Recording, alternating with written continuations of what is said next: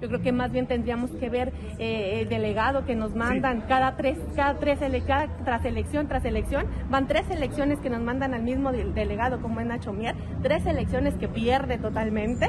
Entonces tenemos que evaluar eso. Yo creo que la dirigencia estatal tenemos que también ver qué sucede y si existen cambios, que los haya, que, que veamos por el bienestar del partido y que si tiene que haber cambios, desde luego que los haya. Importante es lo que piensa todo el partido al interior. Hay mucha división. Eh, no estamos ahorita, eh, a raíz de lo que pasó de las elecciones, de los resultados, se marcó mucho la división. Pensamos que estábamos bien porque nosotros creemos en el proyecto, creemos en lo que nos dice nuestra dirigencia. Vamos caminando sobre lo que nos van marcando. Hoy vemos que no es así. Ayer nos toman las oficinas, no está contenta la gente.